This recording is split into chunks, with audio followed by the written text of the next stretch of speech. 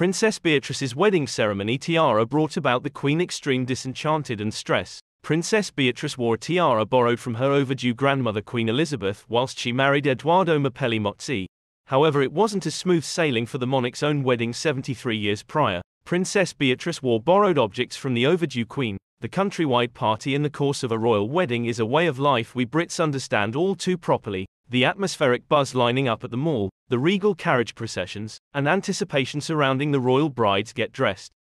Princess Beatrice selected a more intimate technique, but, for her mystery rite in Windsor. Welcome to today's update, to be the first to be updated about trending records and vibes. Subscribe now, and comment later to inspire us make videos like this for you. Because of lockdown restrictions at the time simplest a small variety of visitors attended the matrimony between Beatrice and Edoardo Mapelli Mozzi consisting of the late Prince Philip and Queen Elizabeth E, so fans needed to wait to capture a glimpse of the look. Images posted after the huge day show off Beatrice's beautiful ivory dress, previously worn by using the overdue Her Majesty. The Get Dressed featured wonderful drop sparkle embellishing which Beatrice selected to praise with a perimeter tiara to hold up her veil.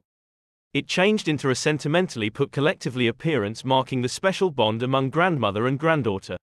Beatrice followed within the tradition of including the tiara as her, something borrowed, item, which the past due Her Majesty did too for her wedding ceremony to Prince Philip after it changed into gifted to the Queen Mother in 1936. Kate Middleton's hilarious nickname for Prince William she might in no way use in public, although the tiara as soon as caused the overdue Queen a critical amount of pressure on her very own wedding ceremony day and a catastrophe at the morning of the overdue Queen's wedding ceremony nearly brought about her from now not wearing all of it.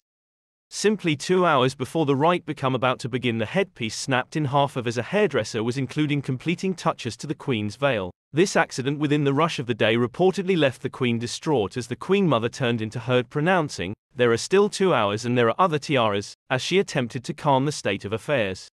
Fortunately every person was on call on one of the biggest days within the royal calendar which meant the family jeweler turned into able to rush to his worktop below police escort to restore the snap tiara. There has been huge sentimental meaning in the back of Princess Beatrice's wedding ceremony dress and tiara, each the overdue Her Majesty and Princess Beatrice wore the perimeter tiara on their wedding ceremony day, and he did it, amazingly solving the piece and returning.